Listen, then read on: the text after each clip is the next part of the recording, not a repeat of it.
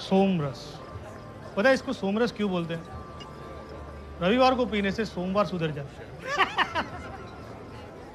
ले ले ले एक बार लेने से लत नहीं लगती। ले ले ले ले ले, ले, ले। अरे भाई नहीं मेरा थम्स अप ओके।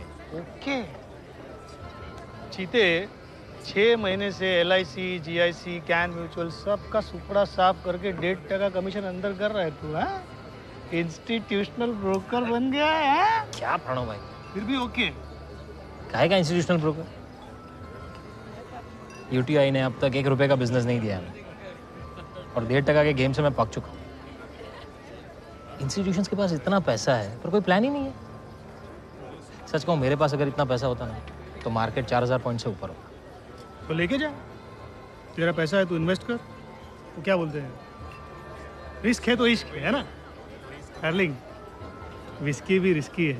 इसके साथ इश्क लगाना लगाना लगाना लगाना।